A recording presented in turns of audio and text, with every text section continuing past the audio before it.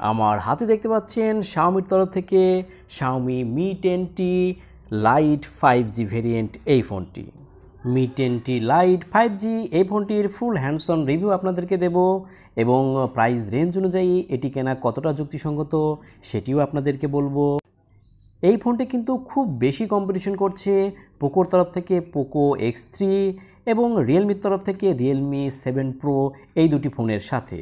So আমরা এখন চুল চেটা বিশ্লেষণ করে দেখব কোন ফোনটি আপনার জন্য পারফেক্ট ফোনটির ডান পাশে রয়েছে সাইড মাউন্টেন ফিঙ্গারপ্রিন্ট সেন্সর এবং volume up and down button এবং নিচের সাইডে রয়েছে three point five M M jack charging port এবং মাইক্রোফোন এবং speaker three point five M M jack দিয়েছে, এটি কিন্তু আমি এর জন্য খুবই সাধুবাদ জানাচ্ছি শাওমিকে three point five M M jack এখন আমার কাছে অনেক বেশি ফেভারেট এবং আমি জানি অনেকেই three point five M M jack অনেক বেশি ইউজ করেন সো আপনাদের ক্ষেত্রে কিন্তু এটি জিনিসটা থাকা অনেক প্লাস পয়েন্ট প্লাস্টিক ফ্রেমের সাথে ফোনটি আমরা পাচ্ছি এবং পিছনে এবং সামনে আমরা পেয়ে যাচ্ছি কর্নিং গোরিলা গ্লাস ফাইভের প্রোটেকশন আমরা কিন্তু মোস্ট অফ দ্য টাইম আসলে টাইম এক্সপেন্ড করি একটি ফোনের স্ক্রিনের দিকে তাকিয়ে।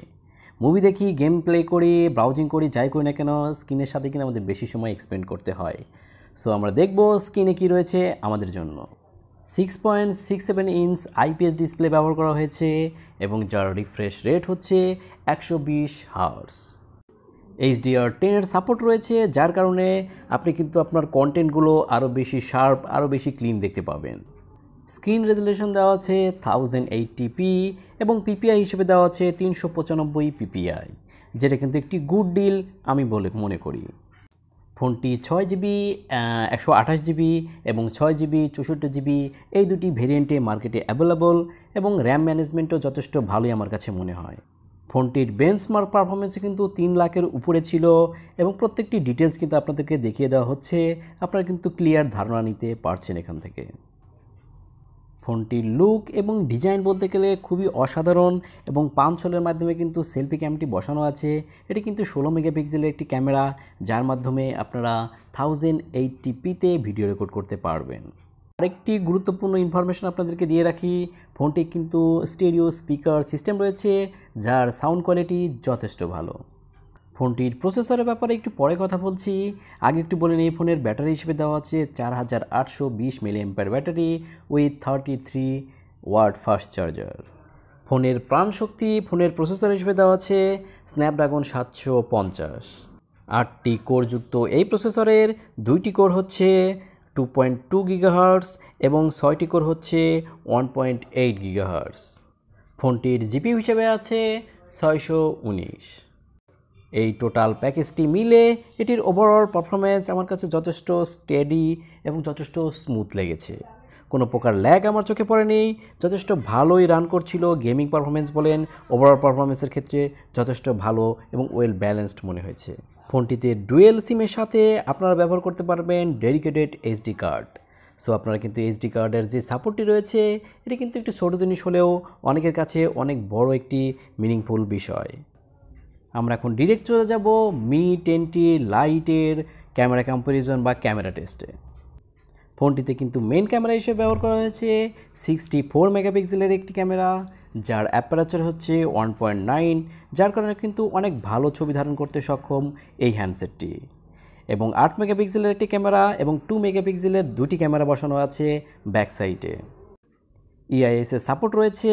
ফোর কেতে ভিডিও রেকর্ড করা যাবে। এর টেস্টগুলো আমরা একটু পরে দেখছি। তার আগে সেলফির দিকে তাকালে ষোলো মেগাপিক্সেলের একটি ক্যাম রয়েছে এখানে।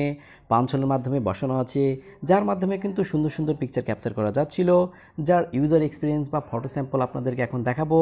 So without wasting any more time দেখি কিছু ছবি স্যাম্পল আপনারা এখন দেখছেন Mi twenty Lite five G ভার্সনের বেশ কিছু ছবি যেগুলো। এই ছবিগুলোর কিন্তু কন্ট্রাস্ট এবং ডিটেলস যথেষ্ট ভালো ছিল এবং ওভার সেচুটেড করে দিচ্ছিল না সাবজেক্টগুলো যথেষ্ট ভালোভাবে রেখে ব্যাকগ্রাউন্ডগুলোকেও ওভার সেচুটেড করে দিচ্ছিল না। এটা কিন্তু অনেক ভালো একটি দিক। এবং ছবিগুলোর ডিটেলস যথেষ্ট ভালো ছিল। সেলফির ক্ষেত্রেও বলব যে সেলফিও টুকটাক ভালোই ক্যাপচার করেছে। লো লাইটের ক্ষেত্রে কিছুটা স্ট্রাগল করতে হয়। কিন্তু যদি ডিসেন্টভাবে ধরে রাখা যায়, তাহলে কিন্তু এখান থেকেও বেশ ভালো কোয়ালিটিরই ছবি পাচ্ছিলাম। সো আপনারা কিন্তু দেখছেন red sorry Mi twenty Lite five জির ক্যামেরা স্যাম্পলগুলো এর পিকচার কোয়ালিটি আমার কাছে যথেষ্টই ভালো লেগেছে, আমি বলব এই প্রাইস রেঞ্জে এসে এটা কিন্তু ফ্ল্যাগশিপ লেভেলের মতোই আমার ছবির কোয়ালিটি অনেক ক্ষেত্রেই লেগেছে। সো আপনার কাছে কেমন মনে হয়? অবশ্যই কমেন্ট বক্সে জানাবেন। ফোনটিতে ইআইএসএ সাপোর্ট থাকার কারণে যথেষ্ট স্টেবল ইমেজ এবং স্টেবল ভিডিও পাচ্ছি না। আপনারা যদি এই বিষয়ের প্রতি আসলে ডেডিকেটেড একটি ভিডিও তৈরি করা যায় মি টেনটি লাইট ফাইভ জির আসলে ক্যামেরা টেস্টের জন্য। সো এই ভিডিওটি কি আপনারা চান কি না যদি আপনারা চান, অবশ্যই ভিডিওটি নিয়ে চলে আসব। অবশ্যই কমেন্ট বক্সে জানাতে ভুলবেন না।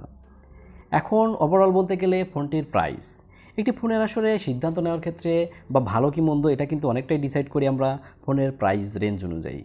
ফোনের প্রাইসটি আমি ডেসক্রিপশন বক্সে দিয়ে দিচ্ছি, সেখান থেকে আপনারা দেখে নেবেন। অসাধারণ লুক এবং অসাধারণ পারফরমেন্সের এই ফোনটিতে আমি অনেক কিছুই পজিটিভ পেয়েছি এবং পোকো এক্স থ্রি প্রথমে যে বলেছিলাম যে পোকো এক্স থ্রি এবং রিয়েলমি এক্স সেভেন এবং হচ্ছে আপনি মি টেনটি লাইট এই তিনটি ফোনের মধ্যে কোনটি পিক করবেন? আমার কাছে আসলে, আমার কাছে আমি ব্যক্তিগতভাবে বলছি, এই তিনটি ফোনের মধ্যে আমার কাছে মি টেনটি লাইট যথেষ্ট ভালো লেগেছে ওভারঅলের দিক থেকে বিবেচনা করলে।